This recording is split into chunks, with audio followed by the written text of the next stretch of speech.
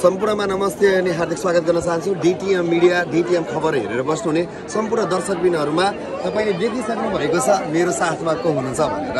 यतिखेर लोकप्रिय कलाकार लोकप्रिय मोडल करिश्मा ढकाल तपाईँहरू माझ हुनुहुन्छ। र म प्रत्यक्ष उहाँहरूसँग कुराकानीको लागि जोड्न गइरहेको छु। नमस्ते। सन्चै आरामै हुनुहुन्छ। यो आठौँ केन्द्रीय महाधिवेशन कस्तो भइरहेछ?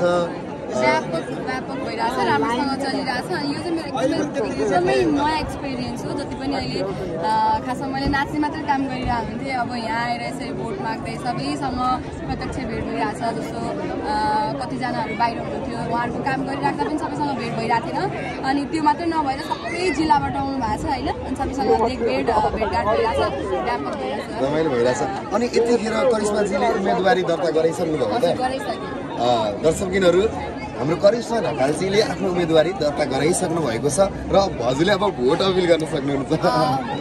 जतिले हेरिराख्नु भएको छ डिटिएम मिडिया मैले पनि एकदमै धेरै फलो गर्छु डिटिएम मिडियालाई चाहिँ। यदि यो छिटै नै अपलोड. भयो भने यो यो हाम्रो रिजल्ट आउनुभन्दा अगाडि नै यो भिडियो आइहाल्यो भने। झनै राम्रो भयो होइन? नभए चाहिँ जतिले हेरिराख्नु भएको छ नि, विशेष गरी त नवलपुरबाट होइन यो। डिटिएममा बढी डिटिएम चाहिँ बढी नवलपुरबाट चलिरहेको हुन्छ नवलपुरमा। होइन?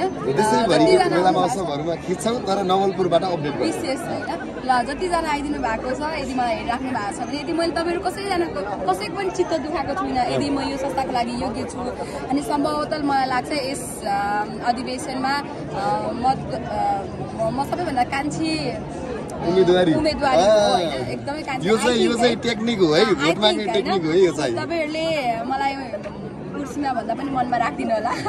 सबैजनालाई माया गर्नु होला। भिडियोमा एकदम धेरै माया लिनु भएको छ। अब भिडियो सँगसँगै यो त मेरो संस्था त मेरो घर हो। अब तपाईँहरूले यो घरमा घरको यो संस्था त मेरो घर हो होइन? घरमा चाहिँ कतिले माया गरिदिनु हुँदो रहेछ अब बाहिरबाट त माया पाइरहेको छु अब घरकै मान्छेले चाहिँ मलाई कतिको माया गर्नुहुन्छ र म यो संस्थाको लागि योग्य छु कि छुइनँ? यदि छु भने चाहिँ सबैजनाले मलाई भोट दिनु पक्कै पनि। भोट मागिराख्नु भएको छ र यतिखेर लोकप्रिय कलाकार तपाईँहरू माझ हुनुहुन्छ। पक्कै पनि करिश्मा ढकालज्यूलाई अग्रिम शुभकामना पनि हामी व्यक्त गर्न चाहन्छौँ। र उहाँ लोकदोरी प्रतिष्ठानलाई चाहिने मान्छे। चाहिने मान्छे भन्दा पनि यदि तपाईँहरूलाई योग्य लाग्छ अथवा होइन पक्कै पनि हजुरको गीत सङ्गीत क्षेत्रबाट एउटा भन्यो भने अभिनय क्षेत्रबाट डान्सिङ क्षेत्रबाट चाहिँ अगाडि बढ्दै गर्दाखेरि पछिका भाइ बहिनीहरूलाई पनि एउटा अगाडि बढ्नु पऱ्यो नि त एउटा एउटा लोकदोरी प्रतिष्ठानमा गायक गायिकाको मात्रै भूमिका छैन। अभिनय क्षेत्रबाट पनि प्रतिनिधित्व गरेर आउनु भएको छ। अहिले हजुरलाई हामी सबै अग्रिम शुभकामना व्यक्त गर्न चाहन्छौँ। तपाईँको जित सुनिश्चित छ मलाई लाग्छ। किनभने हजुर सबैको प्यारी पनि हुनुहुन्छ सबैको मनमा पनि हुनुहुन्छ र धादिङमा सबैजनाको आशीर्वाद। थ्याङ्क यू सो मच अनि जति पनि अहिले उम्मेदवार दिनु भएको छ सम्पूर्णलाई गुड विसेस गुड लक सबैजनालाई अग्रिम शुभकामना पनि अनि पदमा नभए पनि यो केही ऊ होइन जस्ट पदको मात्रै कुरा छ। त्यो बाहेक त संस्थामा बाहिरैबाट पनि संस्थामै रहेर पनि धेरै कामहरू गर्न सकिन्छ होइन?